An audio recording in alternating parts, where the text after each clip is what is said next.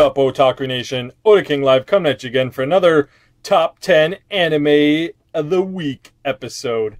And this episode is going to be kind of like the kind of like the other one of the fan service, but it's going to be the fan service show you thought you were going to get more than you did. So, you know, pretty much you thought it was going to be really fan servicey and it actually was pretty tame.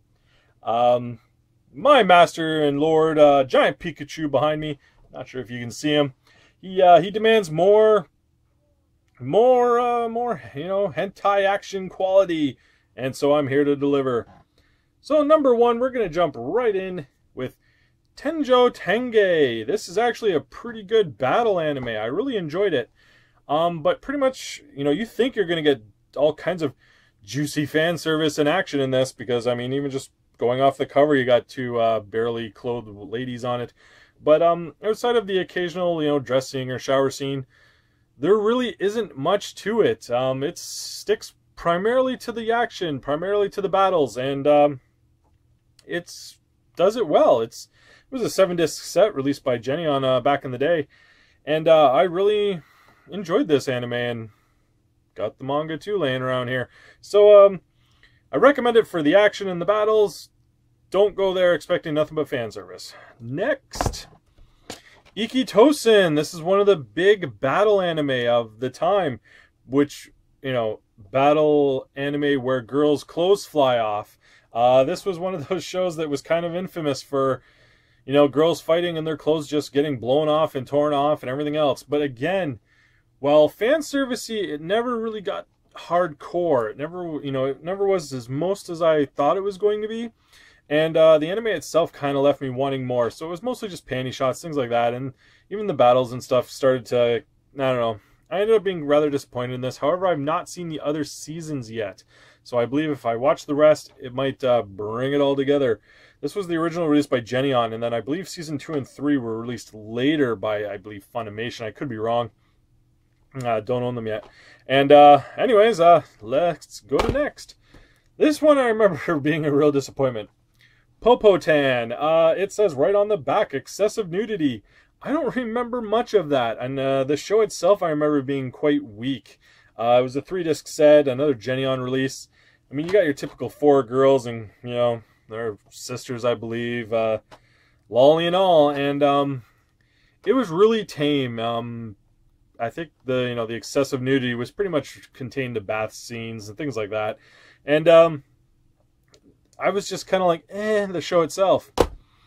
Next up is DearS. This is another master slave type uh, anime, and um, it does get pretty hardcore. Um, again, not a lot. It's mostly again, you know, to the to the bath scenes, things like that. It ended up being kind of kind of a lot tamer as it went on, and um, ended up just kind of being a pretty good story. So while I enjoyed, you know, I enjoyed the story of the whole thing and uh, the whole you know master slave relationship and everything, it really you really thought you were going to get more going into this than you did.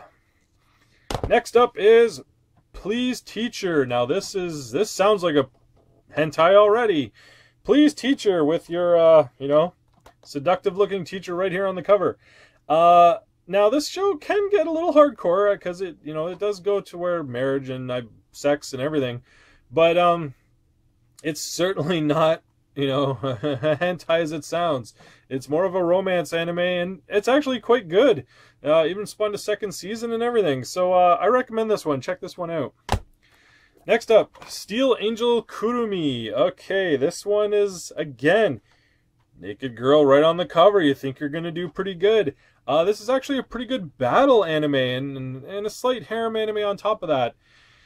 Pretty much, uh, you got your your robot girls, and uh, you know, outside of just getting naked to you know shower or change, that's pretty much as far as the fan service in this one really goes. And um, however, a lot of the battle scenes are pretty good, and uh, I used to like this show a lot. I certainly recommend it. Be watch the watch out for the manga though; it's a little bit different. Moving on, Mahoromatic. This is one of my old school kind of fave uh, shows. It's not really a harem. It's not really, uh, you know, it's kind of a bit of bit of harem, bit of comedy, bit of bit of fan service, bit of everything. but you think it's going to be a little more fan servicey than you you're you're getting into because pretty much his teacher uh, wants him, and she's like some you know double F, you know, ready to go dog and heat kind of action, and uh, she's always trying to get him naked. And uh, you know, you got your Mahoro, but she's uh, she's a prude. She she thinks nudity and everything is bad. Bad thoughts are bad. And uh, so, while there is certainly a lot of nudity, again, it's mostly shower scenes, bath scenes, things like that. And when you look at the covers, you look at the back, and just the show as a whole, you think it's going to be a lot more with all the maids and everything else. But um, show itself's pretty good. Just you know, enjoy the the slight fan service and don't expect too much more. Next up is a, a bit of a strange one. Hanaukyo Maid Team. Uh, this was a strange release because this is like, I don't know, this is like a tamer version of uh, Maids, uh, released by Geneon. It was like a, I believe, a three or four disc set. There is another series of this, another OVA that I have that I got, you know, from God knows where off eBay. It was like a type of Hong Kong release where it is a lot more hardcore. Uh, pretty much there's there's him, and there's these three maids that want to, you know, serve him to where, you know, you know, anything. Like they just try and jump in his bed every night, all three of them naked. In the other release, they're always naked and trying to hump this guy. And this one, it's a lot more tamer. You know, you get your minor panty scenes, things like that. But if you saw the other version of this and then came into this one, you're going to be disappointed because it is this is like the G-rated version, and the other one's like the borderline hentai version. So this one was a kind of a real disappointment to me because I thought it was going to be a, more like the other. Next up is a kind of a two for one dealy here. You'll see what I mean in a minute. Maburaho. This is one of those shows where the dude has some sort of magical master genes in him. So pretty much there's like these three or four girls that pretty much just want to hump him to you know, get impregnated by him so they can give birth to the next, you know, major, you know, magical master dude. And uh again, it ends up being a lot tamer than what it sounds like. You, you know, when you hear that, you think it's going to be, whoo boy, but uh, no, it's actually pretty tame.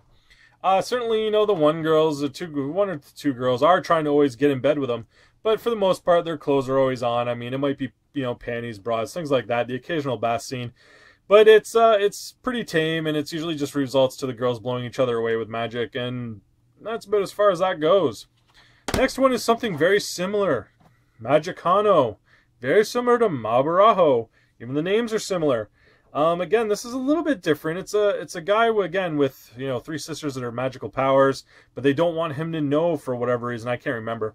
And an outside girl, again, he has like this magical strength in him, and again, a girl on the outside finds out, wants to hump his brains out to get impregnated by him. And uh, the three sisters try to, you know, fight her off, etc., etc. Again, you think it's going to be a lot better than it is, but it isn't. So again, this one was uh, a little on the disappointing side. Um, an AD Vision release this time. It was like a three disc set. It's not a terrible show. I did enjoy watching it, but uh, you know, just was a little disappointed because uh, just wasn't as hard as I thought it was going to be. You know what I'm saying? Anyways, uh, that's it for the top 10 you know, suspiciously disappointing fan service shows. Uh, leave a like if you agreed with any of these. Leave a comment if you have any others that are like that. And uh, I'll see time.